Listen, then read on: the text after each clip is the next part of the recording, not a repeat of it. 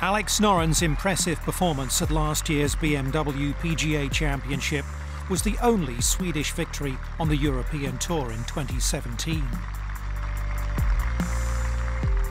This season has already produced two Swedish champions, with Joakim Lagergren and Alexander Bjork both claiming their first European Tour titles.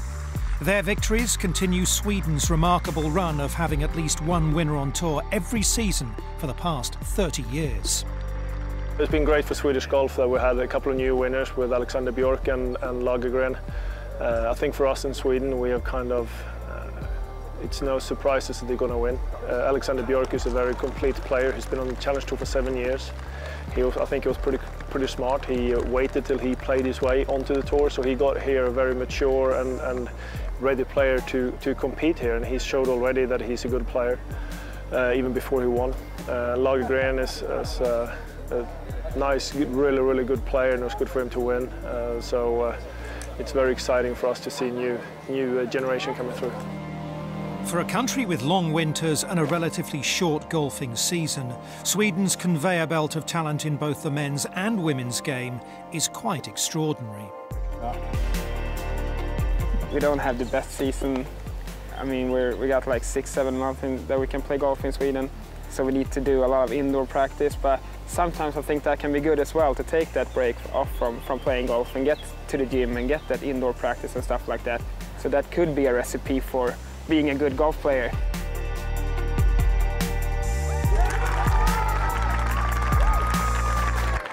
Since I grew up, my dream has always been to win on, on tour. So I've been waiting for this so long and fighting so much for it. So it feels like sometimes you put too much pressure on yourself to, to get that first win.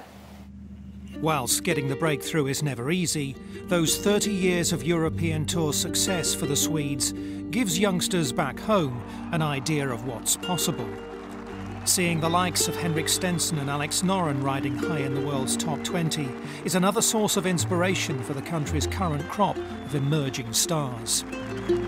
I think it's really important to have some, some good guys looking up to and, and to get in their footsteps. So uh, obviously they mean a lot. And watching tournaments and, and playing golf, you, you, always need to have your idols and, and trying to trying to work as hard to get to that level they are at. So it's, it's been really, really good to follow their journey.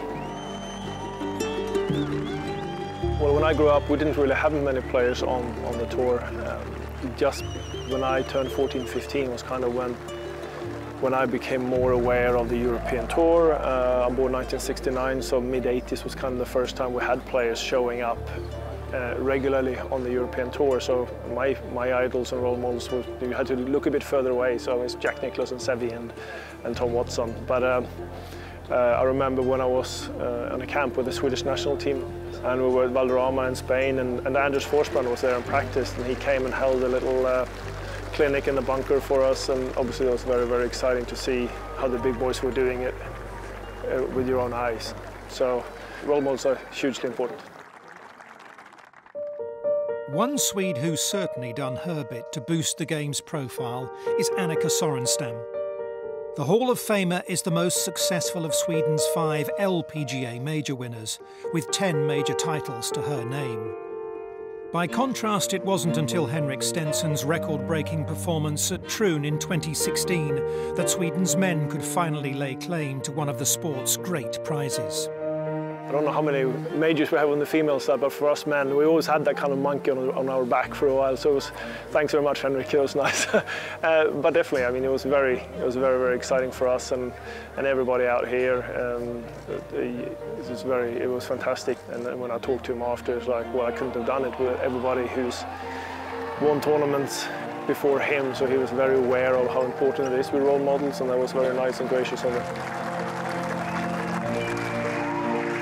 While several Swedish players had come close to major glory, with Jesper Parnevik twice finishing as a runner-up at the Open, Stenson's remarkable Sunday battle with Phil Mickelson at Troon finally gave Sweden the victory it so badly wanted.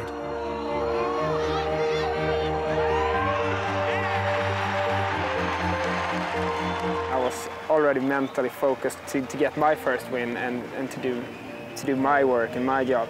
Uh, but, but still, it's a great thing for Sweden. I think it's great for, for golf all around Sweden. It's, I think it's been growing the game as well. So uh, overall, it's a really good thing.